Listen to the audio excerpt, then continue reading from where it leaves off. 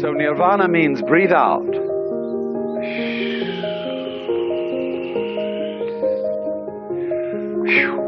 What a relief that was.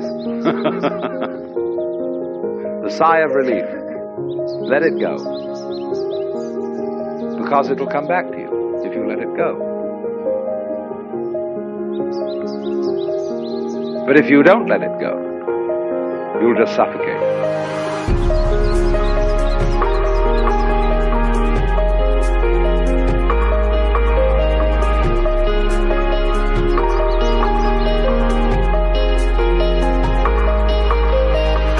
So, a person in the state of nirvana is what we might call a blown out person, like blow your mind.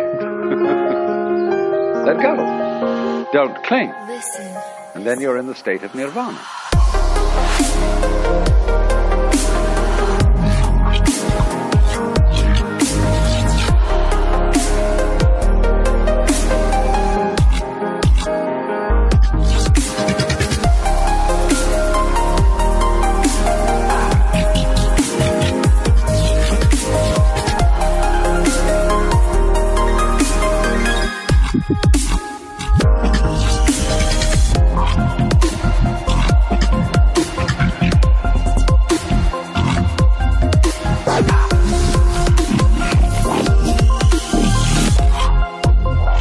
I, I'm not preaching, see?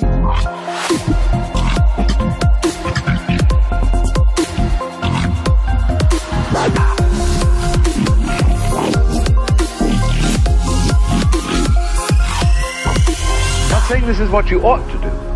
Simply pointing out a state of affairs that is so. There's no moralism in this whatsoever. It's simply pointing out, like, if you put your hand into the fire, you'll get burned. You can get burned if you want. It's okay.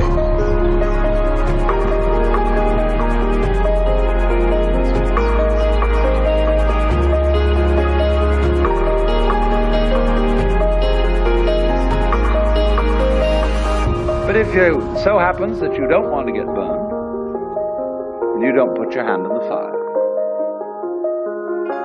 See, Buddhism never hurries anyone on. They say, Listen. You've got all eternity through which to live in various forms.